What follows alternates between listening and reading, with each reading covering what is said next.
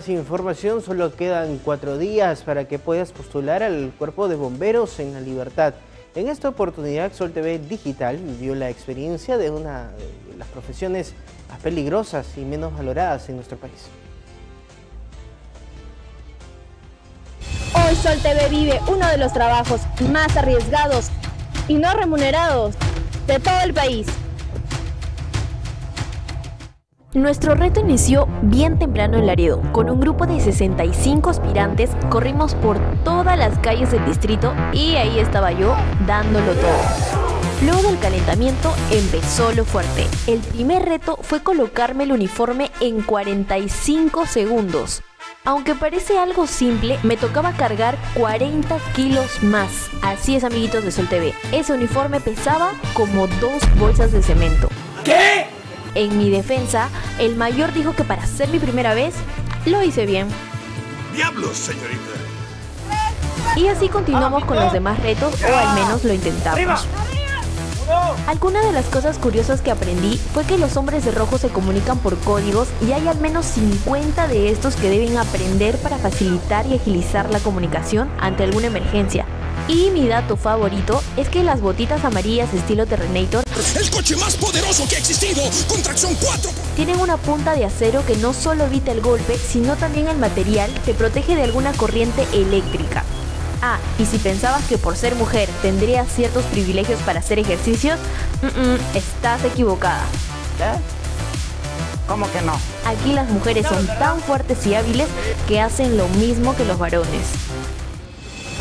La verdad, ser bombero es todo un desafío. Es extinguir incendios y salvar vidas, inclusive arriesgando la tuya frecuentemente.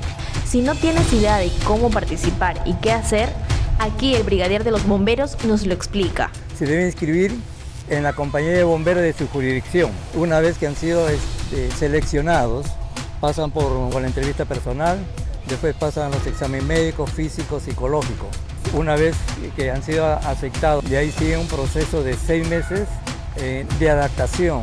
Después hay un examen de actitud bomberil aprobados, entonces ya vienen a formar eh, parte de la, de la escuela básica.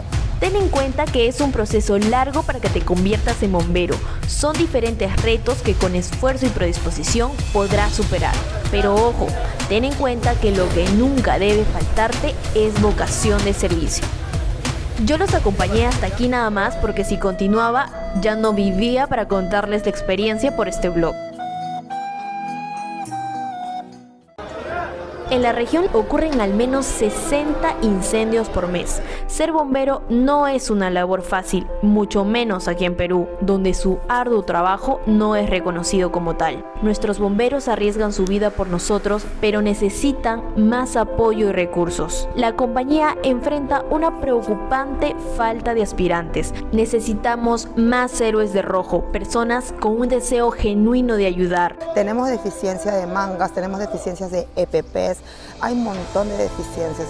Lamentablemente eh, no contamos con la ayuda, tenemos que pedir ayuda, amistades, así. Eh, carecemos un poco de personal, entonces por eso que también eh, invocamos a toda nuestra población. La ayuda no es para los bomberos, es para nuestra, toda nuestra comunidad, nuestra familia. La vida es un boomerang, lo que damos recibimos.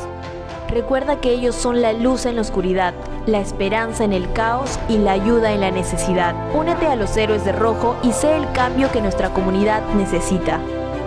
Aspirante Ashley ha culminado como aspirante bombero a la tercera comandancia de la libertad. Muy bien, ahí hemos tenido a Ashley Guerra también participando de esta eh, campaña que los bomberos han abierto precisamente para conseguir a nuevos aspirantes. Felicidades al equipo de TV Digital también que eh, hace este trabajo con mucho esmero. Una con 40. Pausa, volvemos.